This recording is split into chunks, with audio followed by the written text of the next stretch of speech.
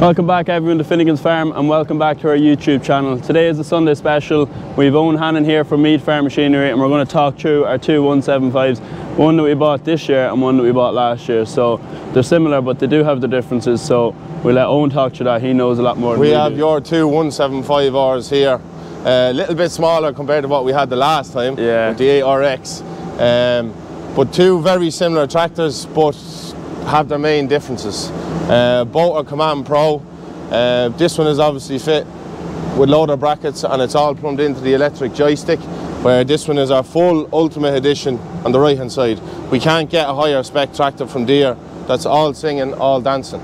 Um, Main differences, I suppose, between the two of them is this has the full lighting package, the same as the right-hand one, but this is on just solely halogen lights, where the right-hand one is on LED lights.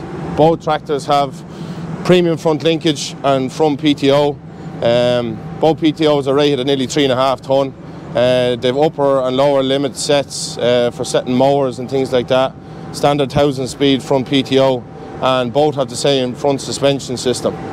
Um, this is our premium series R loader 663R. Um, it's all electric function in off the e-joystick inside in the cab.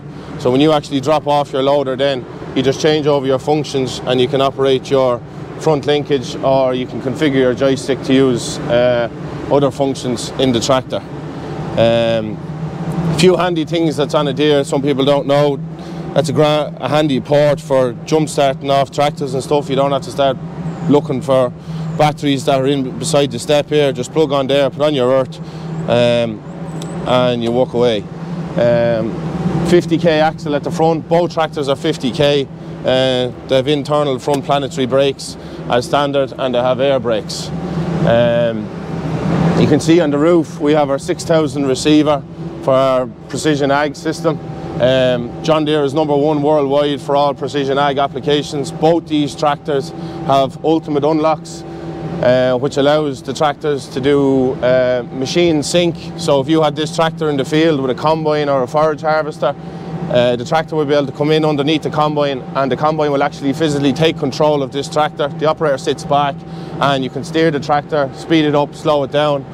Both tractors can share guidance lines in the field, so if both tractors went out mowing and this tractor started, it done a split up the field. Next tractor comes in, it can pick up this guidance line that the tractor had used and the second one just follows in as standard. They also have tractor turn automation as standard.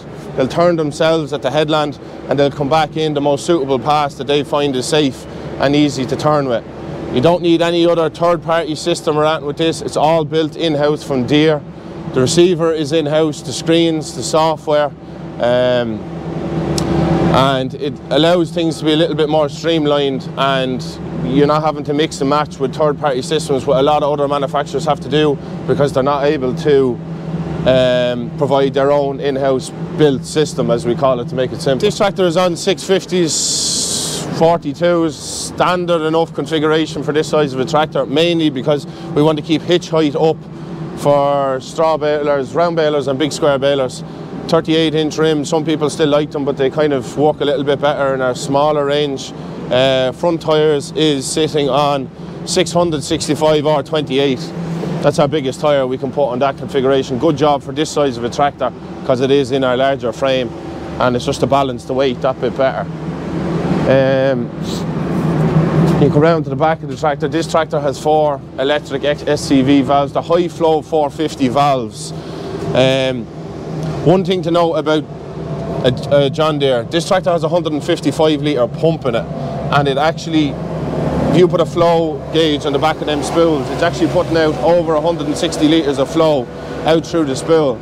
Some manufacturers are advertising these massive big hydraulic pumps, but if you actually put a flow gauge on the back of the spool, you're not getting anywhere near than what you get on the brochure. So it's just one thing to bear in mind.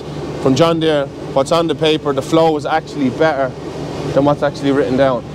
Um, we have hydro pneumatic cab suspension.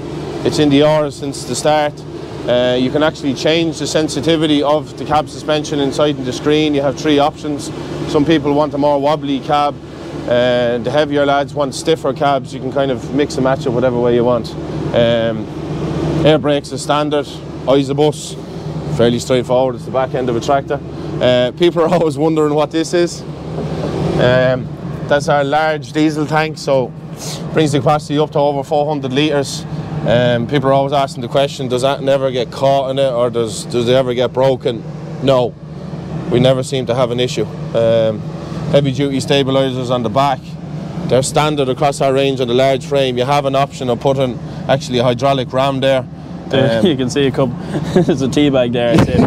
Alan Clark's cup of tea at 10 o'clock one day. I'm waiting till I find the old pot of milk somewhere. Yeah, having more. You have your hydraulic controls here, standard for hydraulic top link, handy for putting on implements, PTO, lift. Yeah, so if you want that to work, you have to put it in spool number three. Yeah, so it's all colour coded. If you look over at the spools, they're all colour coded on the back. They're colour coded to correspond inside, and you have to under your brown spool here on the back, which this one is in and then you can operate it once the tractor is running. This is the ultimate top spec tractor that you can get from Deere. A lot of similarities to the one we've just gone through, but this one is sitting on big boots. It's on an 800 tyre on the back and it's on a Vredestein tyre. Um, my favourite tyre at the minute, real good hard wearing tyre and very, very good to keep itself clean because of the curved cleats.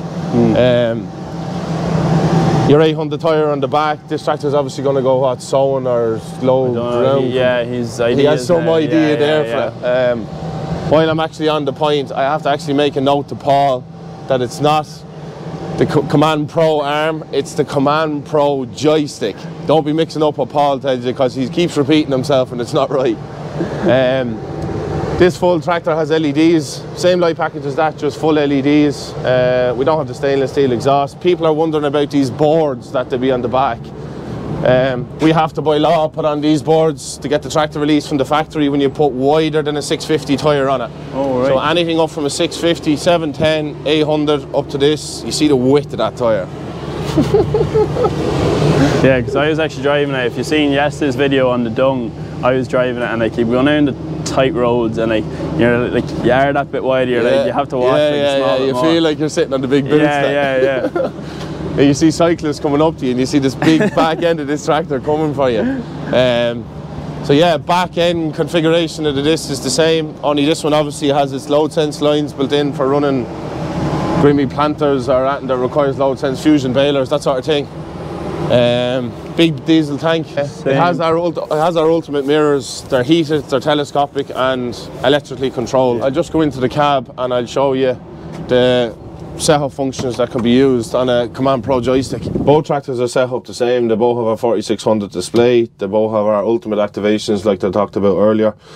Um, this is our new Command Pro joystick that was launched a couple of years ago. Um, it has numerous double throw toggle switches. There's orange uh, configurating buttons and then there's single buttons. So we have 10 11 and 12 and they're action buttons which can actually be configured to use for four-wheel drive auto track engagement uh, auto diff lock.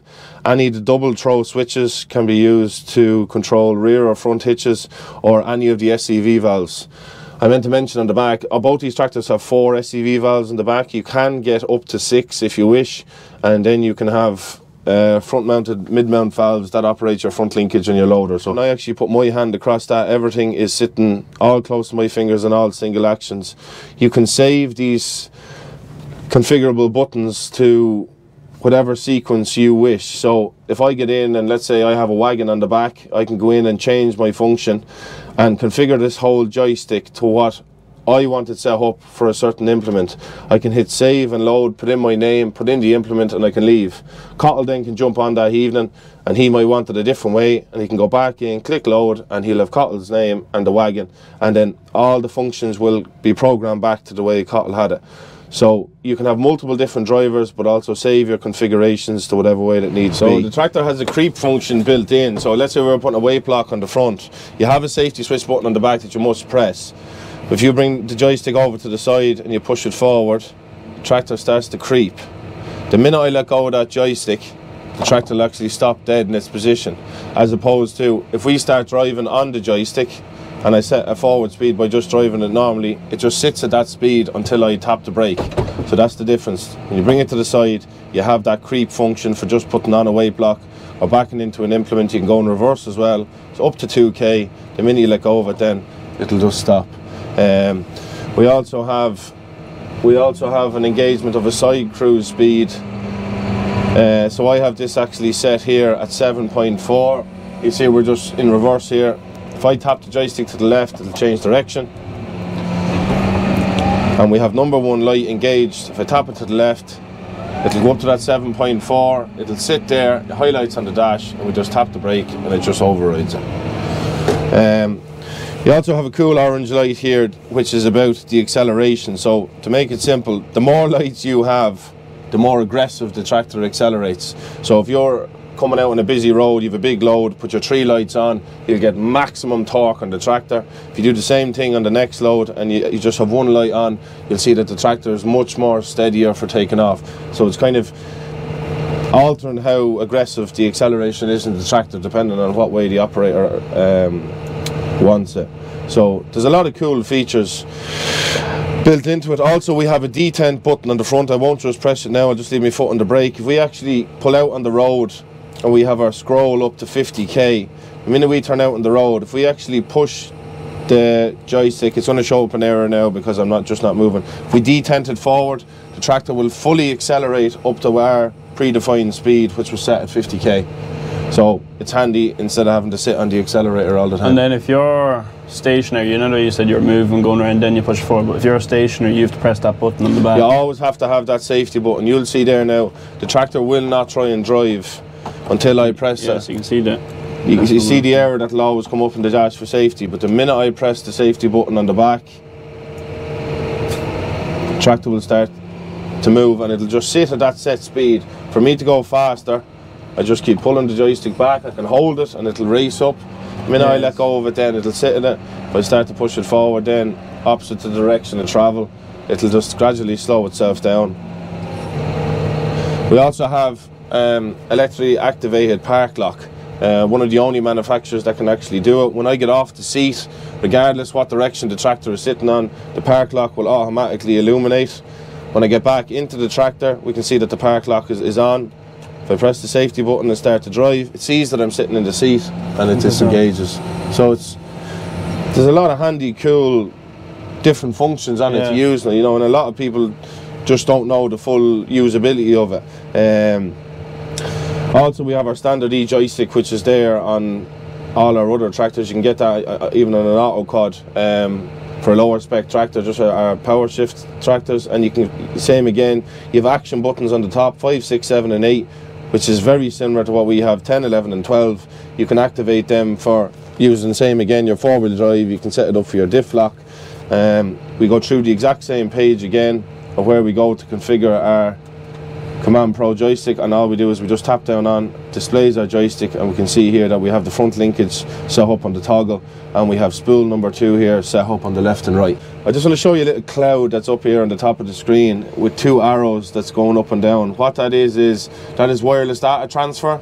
So when you go in and do a job with this tractor, when you close the field work, which I'll show you later on, every minute to minute and a half, this modem that's built into the tractor is wirelessly sending all the information back to the main laptop. So you and Paul can sit down and say, right, what did Owen sow today or what did he mow today? Hmm. There's no plug in it. You, you can, if you want, plug in a memory stick if you want to do it the old fashioned way. But these are constantly send, sending data the minute you close the job. That's the beauty of the Precision Ag from Deere because it's all built in, it's in house. You don't have to start paying for more subscriptions and everything. When you buy an R series with the ultimate activations, everything is for free. You get an app on the phone and you can monitor all your tractors. One, two, three, and four. These are your headland sequences that you'd set up. So if you're using a one pass, we can program into number one function that your forward press a lift, and then after a couple of meters, then your one pass a lift, and off your PTO. It- this tractor, because it's an ultimate, can turn itself at the headland, come back in. We can press number two, and it can just reverse the cycle. Another cool feature that the Command Pro tractors can do is it's actually a trailer stretch mode. So when you're actually going down the hill, say with a full load of spuds on the back, 20 or 25 ton, you can actually push your Command Pro joystick forward and you can apply the brake pedal at the same time. And what it'll actually do is it'll actually put a pull at the drawbar point at the hitch.